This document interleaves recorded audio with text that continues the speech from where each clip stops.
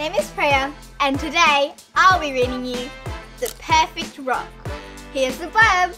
Ollie, Bea and Ula do everything together. They play in the waves, eat shellfish feasts, and snuggle up together to sleep. But there comes a day when every young otter must find a special rock of their very own. One shining strong enough to crack open shells for themselves. What will happen when there's just one perfect rock and three eager otters? Stay tuned to find out. Let's read.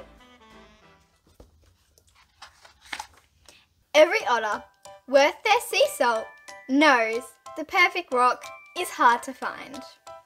But Ollie, Bea and Ula don't have time to think about rocks because,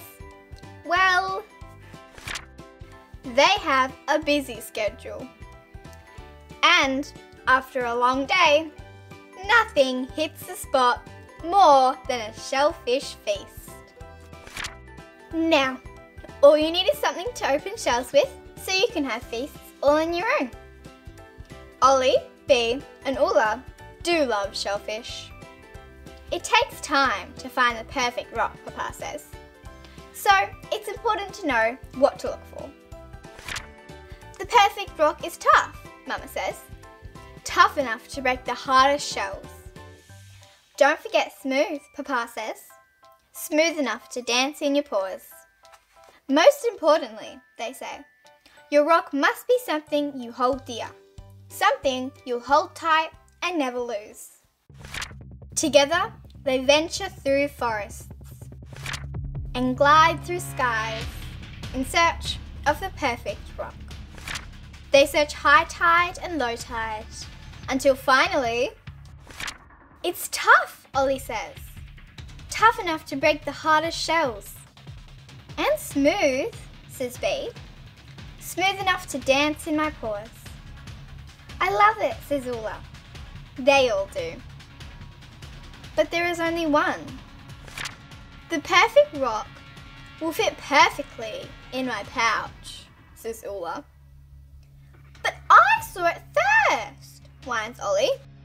But I have it now, says Bea, and you can't catch me.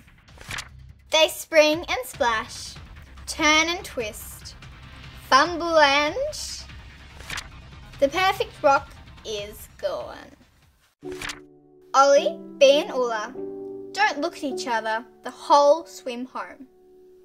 Not when they pass a slippery looking slide. Not even when they spy a funny looking fish. They're too angry and too sad. But when the waves start moving in a quicker, scarier rhythm, they remember to hold each other tight.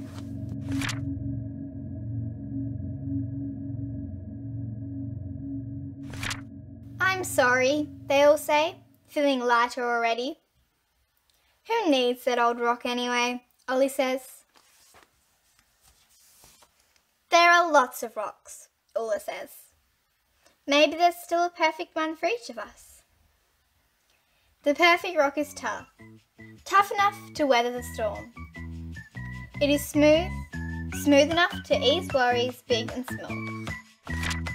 Most importantly, the perfect rock is steer enough to hold tight and never lose. That is what every otter worth their sea salt knows.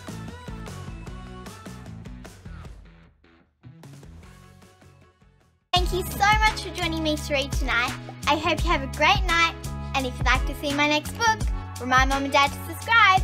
See you next time.